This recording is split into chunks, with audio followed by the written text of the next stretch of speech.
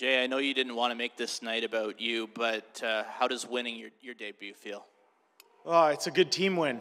It's a good team win, and um, I enjoyed the the way the game was played today. I thought our players really played hard for each other. Um, Mike Smith turned in an A A performance, uh, allowed us a chance um, to get to work our way into the game. I thought we got better as the game went on tonight. Uh, and what I really liked to see was when the game was on the line in the third period, uh, we valued hard plays. And uh, that's a credit to the players in the dressing room. Um, I like the fact that it was an emotional game today. And um, it's been an emotional couple days for this team. So uh, I'm pleased for our players.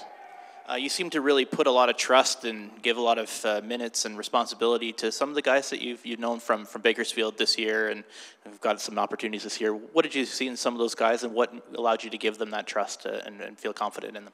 Well, there's a familiarity and understanding what ca- what their capabilities are, and uh, uh, that's that is built over time and through mutual, mutually shared experiences.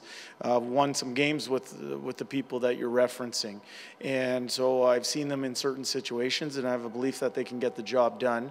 Uh, I wouldn't put them in those situations, and certainly Dave wouldn't put them in those situations if we didn't think that they could get the job done. Um, for me, I thought it was. Uh, uh, important for us to play 11 forwards and 7 D men tonight based on um, distributing the minutes out amongst the many. Um, I thought we got contributions up and down that lineup. And uh, for me, like I said, uh, I saw a group of men playing hard for each other, and uh, it was fun to stand behind the bench tonight. You play seven defensemen pretty much every game in Bakersfield because you have so many defensemen there. But did it seem just very comfortable then to, to go with the seven defensemen? Maddie, I would say that that uh, came out of uh, uh, necessity of where our team was at last year with um, the personnel that we had uh, heading into this season. Um, we had a number of NHL prospects on the back end.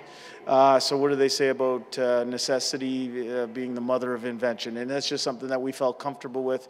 I don't know that that's a sustainable plan going forward, given the amount of hockey that we're expected to play here. But we'll uh, we'll look at it as we move forward. We know that we can do it now, and um, like I said, I thought it was a solid performance from everybody that that played tonight. Did you get the game puck game? Uh, yeah, the players gave me the game puck tonight, and Dave and I are going to cut it in half, I think. Uh, but uh, as I mentioned, it's it's not about uh, us coming in. It's about the, the hard effort that our players put in. And are there stuff to clean up? There is some things that, uh, that we have to clean up.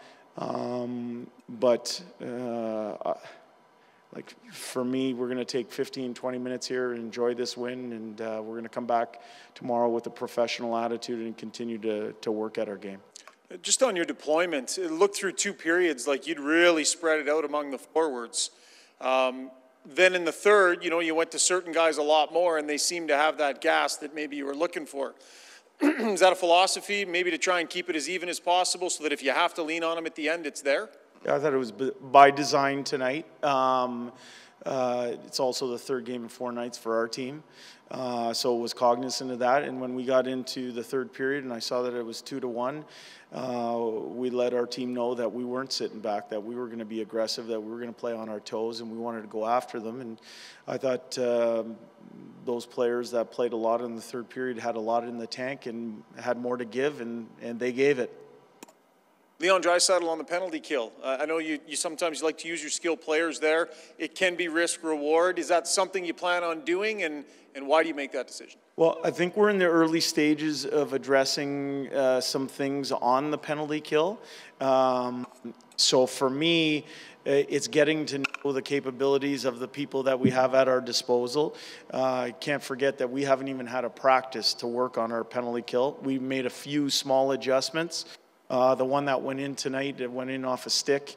Uh, that was hard luck, but um, you know we're going to figure it out as we move forward of uh, who who our who the players that are available to us um, make for the right mix on the penalty kill. Uh, You haven't been here long enough to, you know, implement a bunch of system stuff, but were there some, some bullet points that you wanted to get across and that you saw tonight from the team? Yes, um, I shared my meeting with the media here this morning of uh, the message that we sent to the team. Nothing uh, came uh, that wasn't tactical in any way. That was just uh, the principles that we wanted to see put into place right off the bat. Um, in terms of tactical, uh, we felt that we could uh, improve our physicality in the offensive zone. I thought the first goal was a great example of that. Um, we wanted to be hard and physical on offense. Um, the other thing that we talked a lot about is that we wanted to make uh, the other team work through a group of five men in all three zones. We didn't want to be piecemealed and, and let people spread us out and, and pick us through seams. We have some work to do in that area, but uh, I thought we contested lines pretty well tonight. And uh, um, like I said, we weren't perfect, but uh, the fellas dug in for each other and found a way to win the game. You talk about taking a few minutes to, to, uh, to enjoy this one. Just when you're talking about fresh starts and clean slates, how, how really important was it that you guys got off on the right foot? Well, I, I think uh, anytime that there is a coaching change uh, in professional hockey, there's a group of players um, that are buoyed by the fact that uh, they get a fresh start with a, a new group of coaches. And then there's players who might feel they've built up equity uh, with the coaching staff that had been uh, replaced. And so, uh, for me, I think the message to the players was that we wanted to increase our work rate. We felt we could do that, and uh, and that there was a clean slate for everybody. And I thought we got a lot of really good performances tonight. Just a quick comment, Jay, on uh, Cody Ceci. You rode him pretty hard. He played 26 minutes. And you also kept all the guys that have played 60 or less games in the NHL between 11 to 15 minutes. So the rationale between sort of a high for Ceci and then limiting some of the minutes and dispersing them amongst your younger D. Yeah, yeah, I think that's also part of the reason why we went 11 and 7 tonight was uh, we wanted to, as I said, spread the minutes out amongst the many. That's not just up front, but also on the back end. Uh, for Ceci, I think he uh, is a veteran presence out there. He's able to um, take care of uh, of people in certain situations. I think he's calm. I think he makes. Uh, to me, su- a lot of really good subtle plays on the ice, and uh, for him to play that amount of minutes in in most situations was a real key in our win tonight.